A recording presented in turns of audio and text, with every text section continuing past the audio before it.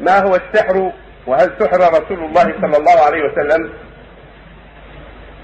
انواع أنواع كثيرة. منها يكون بالعقل والنفس. ابن يشفر من شر النفاثات في العقد ومنها يكون بأدوية مخصوصة وأعمال مخصوصة يعقدها ويفعلها الساحر حتى يتم ما اراد بإذن الله عز وجل كما قال تعالى وما هم في إلا بإذن الله. فله طرق السحرة في ما يفعلون من العبد والشر الذي يريدون إيقاعه من السحور له طرق كثيرة. قد يقع سحرهم بإذن الله وكونه قدري بمشيئته وقد لا يقع.